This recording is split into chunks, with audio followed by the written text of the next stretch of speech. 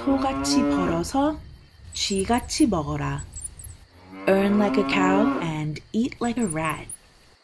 Let's look at the words that make up this proverb.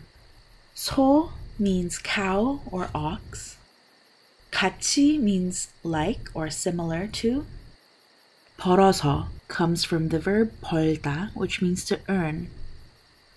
쥐 means rat or mouse, and 먹어라 comes from the verb 먹다, which means to eat. Cows represent hard work, especially because of our history of being an agricultural society. And this year is the year of the white cow or white ox. This proverb advises us not to waste the fruits of our labor and to save what we worked hard to earn. Work hard like a cow and eat as little as a rat. In other words, earn a lot and spend a little.